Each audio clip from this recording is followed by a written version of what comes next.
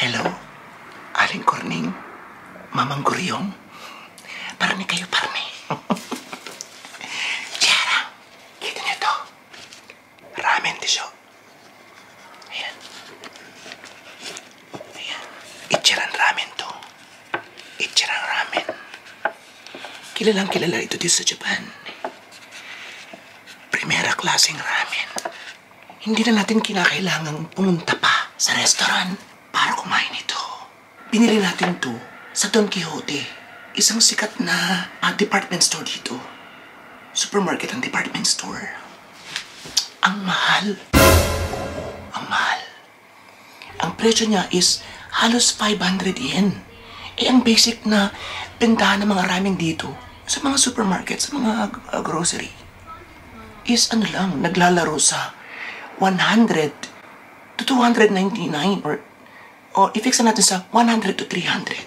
So kung meron man kasing presyo nito na 500 yen or 400 yen, eh 500 yen yan na kasi may tax na konti, is yung may, yung ano na, yung backpack, backpack, may mga limang, lima, tatlo, limang piraso sa loob. Ganun. So sa presyo niya, mahal siya. Pero sabi ng iba, sabi-sabi lang naman, is masarap nga daw. Wala raw itong lamang mga lahok-lahok sa loob. Talagang parang ano lang talaga siya, noodles at yung broth. Pork broth. Ganon. Kasi nga daw is, para masaramdam mo yung sarap. Ganon. Naglalaway ka na, Nech. Pareho lang tayo. Eh bakit naman tayo magraramin? Eh kararami lang natin ng pagka anghang-anghang na ramin ng isang araw. Kasi, parang parang lapit ka, lapit ka. Lumapit ka, lumapit ka. Kasi, babanatan na natin ngayon mhm, ang binili kong itlog na niluto sa bulkan.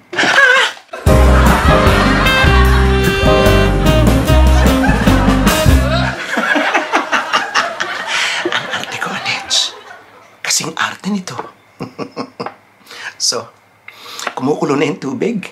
At asikasuhin na natin ito. At i-research ko din muna kung kinakailangan ko pa bang lutuin yung itlog or ready to eat na kahit malamig. Ganon. Kasi ayon sa mga bali-balita ko, mga bali-balita na naman, is, ina, ready to eat agad-agad.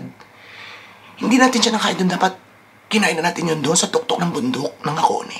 Pero nakalimutan natin at nakabil kasi humabol tayo sa ano, di ba, sa cable car doon sa ang tawag din eh, ropeway. So, wala, hindi na tayo nagkaroon ng pagkakataon na makabili. So, doon sa train station, doon na tayo nakakuha. So, hindi ko na napakita sa inyo yun, pero eto siya.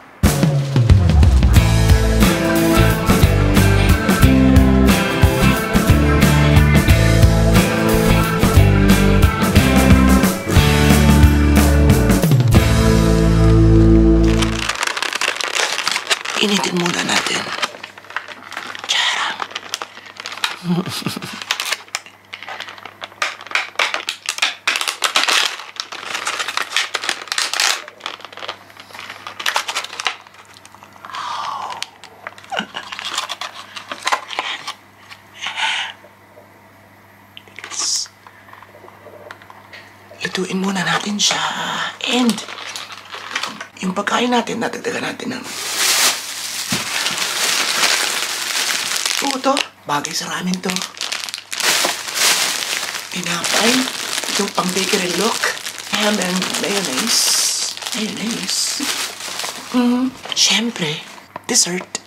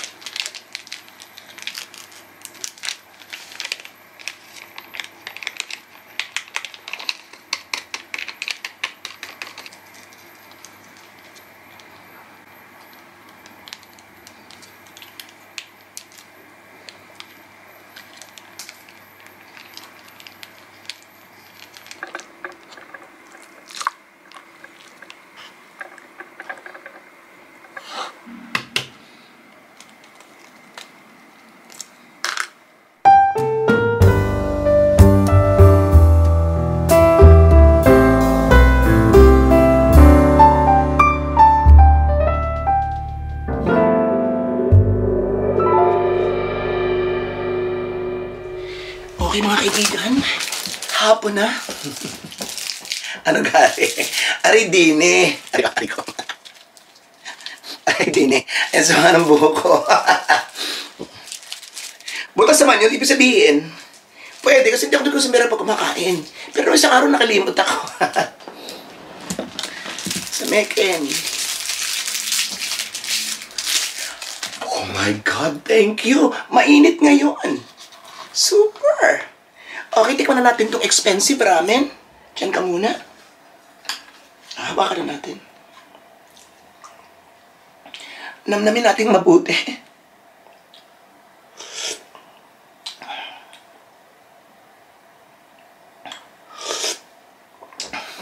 Kita-kita yung pasma natin. Ang sarap. Gumuguhit siya, pero hindi siya maanghang. So, so, para sa may gata, kahit wala. Tama ba ako? Ang sarap. Kahit wala siyang mga lahok. Wow. Sulit. Soup pa lang ah.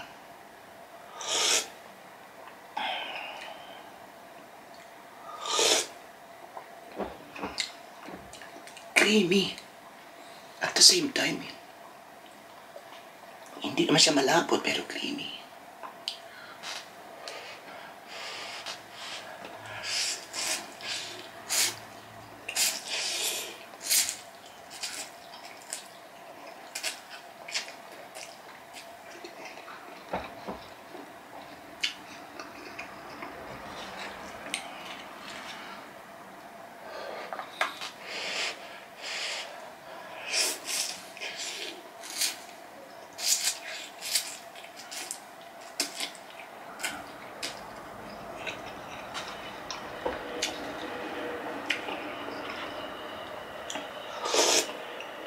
Ganito nga palang hawak natin para hindi kita kita yung katal.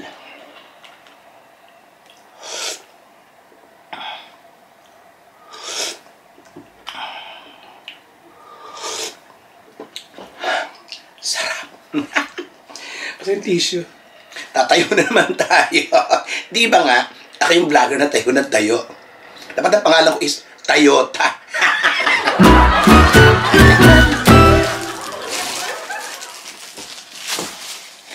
Sarap mga kaibigan. Now, manatan natin ang magpapahaba ng ating buhay. Oo.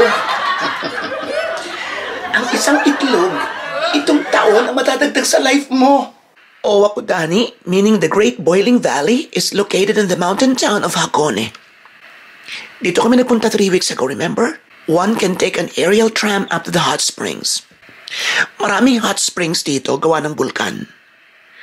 Once the springs are reached, kuro tamago or black eggs can be purchased five at a time. The eggs are ordinary chicken eggs, but the shell turns black due to being boiled in the hot sulfur spring. Local tradition holds that for each black egg eaten, seven years is added to one's life.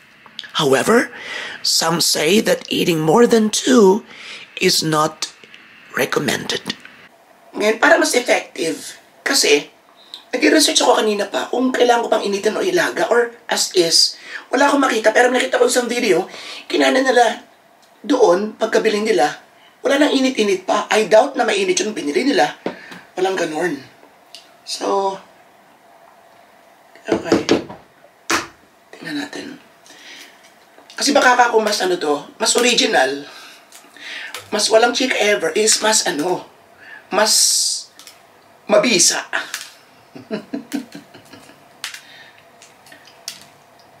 so, ah, ganun din pala.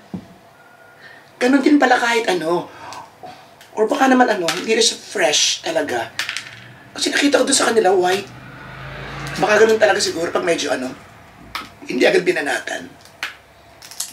So, same color. I think may kasama siyang parang salt. Tingnan nga natin. O, syempre, tatayo na naman tayo. Nasaan ba yun? Okay, tingnan muna natin siya as is. Mm-hmm.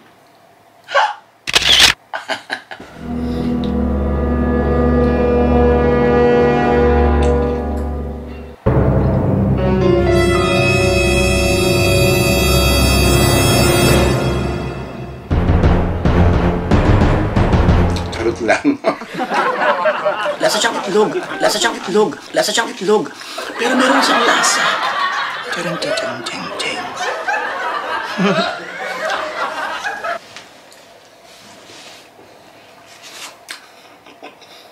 Sarap.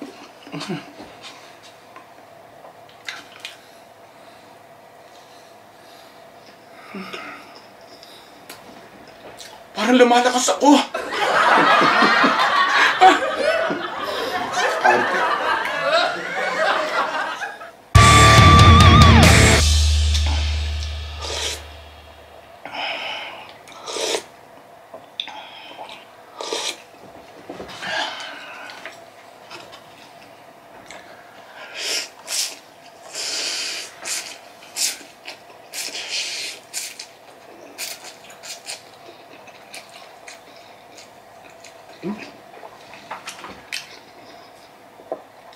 Testingin natin ang photo. Testingin natin ang photo. Gusto ko pinipitpit ko siya eh. Kahit sa tinapay. Gusto ko pinipitpit ko. So mas maligat siya. Alam niyo maligat? Yung ano, yung nasa gitna ng makunat at halpok. Halpok yung madali matulog. Halpok ba nga yan? Nakalimutan ko na eh. Nakalimutan ko rin mga words eh, na native namin. Na local pala.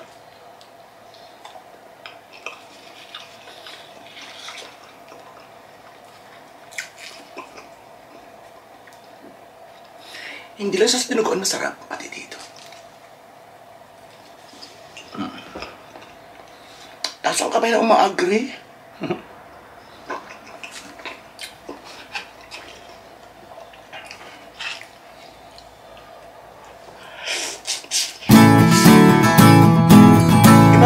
natin, nasuportahan nyo.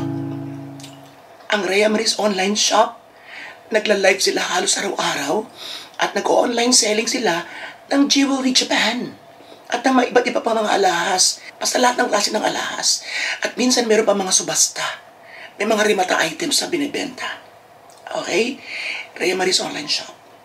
And sa mga magpapadala ng gusto yung mabilisan at mm, komportable ka, online-online lang na transactions.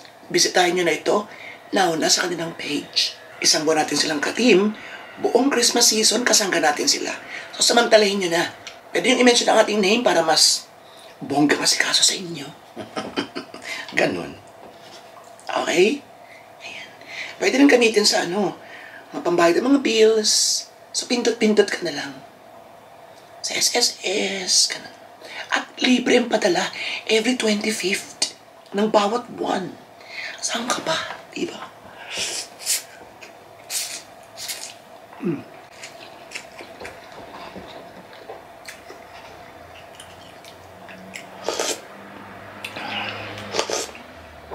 Sarap. Tinapay tayo. Ayan. Ayun siya, oh. Di ba, you know? Oh, you know, mayroong ano. Ham. Ham ba yun? Ham and mayonnaise. And cheese. Ang daming iba't ibang klaseng tinapay dito. Mm. Nakapag-vlog na ako ng iba't ibang klaseng tinapay dito. I-search nyo ulit sa ating ano playlist.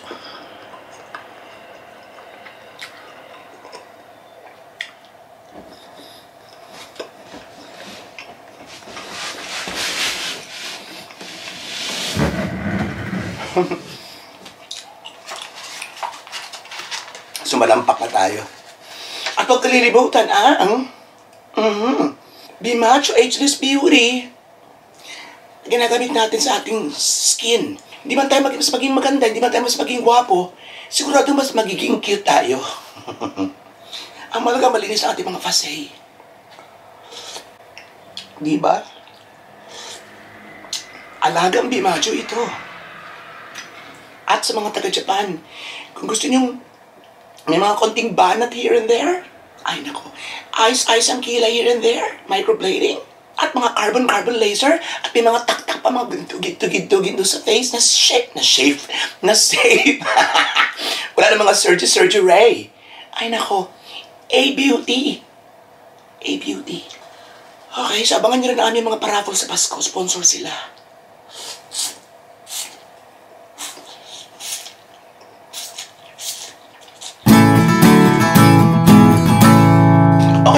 Tayong 7 years. So kung... at tumalsik. ano ba tumalsik? kung ako sa expected ko, o inaasahan ko is mga ano ko, mga 95 ang buhay ko. 95 years old. Confidence lang. Lord naman. Dami-damihin naman. Pakidagdag po. Plus 7 years pa. Ah, di 100. 6. Labis-labis. 102. Eh, kakain pa ako ng isa. Jesus Maria. Pagkakahaba.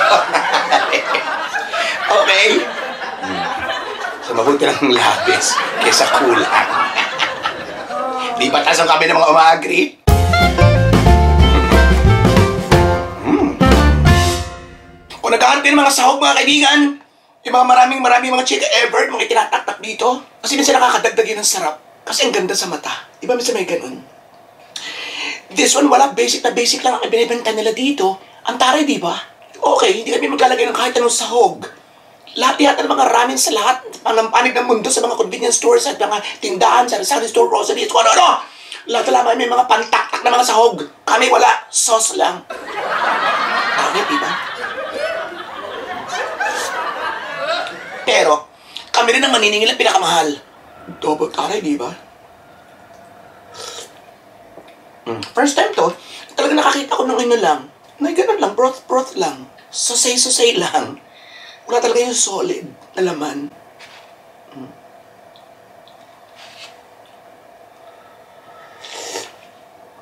Ganun naman eh.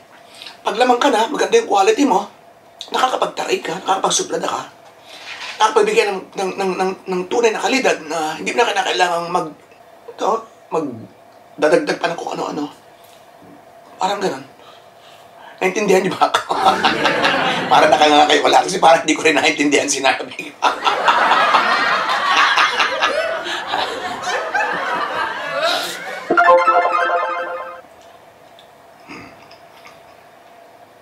Hmm, strawberry hari oy.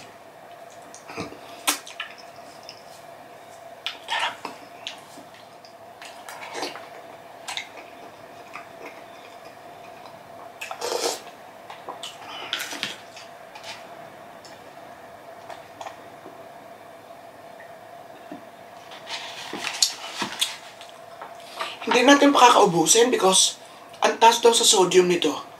Okay, so warning sa iba. Mataas daw sa sodium pero basically is masarap siya as is. Yun lang. Anyway, hindi na natin nakita yun. Akala ko is merong uh, umibushi. Ayun. Ay, akala ko merong whatever na kasama pero wala pala. So yun siguro yung tinaktak natin kanina. Kaya lang, buo siyang pumatak doon. So, ginawa na nilang disenyo. Or, yun, part ng packaging, ng promo. Ng marketing. So,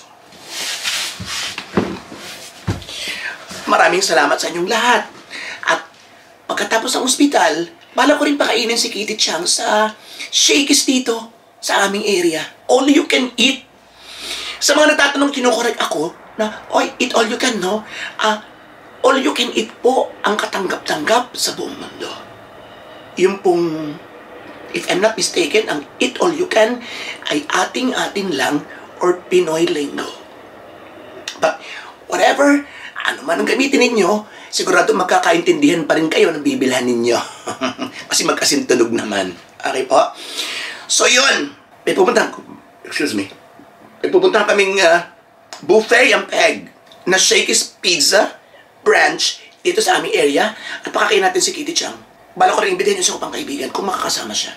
And then, tutuloy tayo sa may madadala ba ako na kwarta sa Pilipinas sa aking pagre-retiro, sa aking pag-uwi. Ah, magkakaalaman po tayo niyan right after that. Right after ng aming hospital kembot. This is your friend about to say, good to say, mas mabuhay lahat ng Pinoy sa masulak ng world, but more and more and more. Thank you!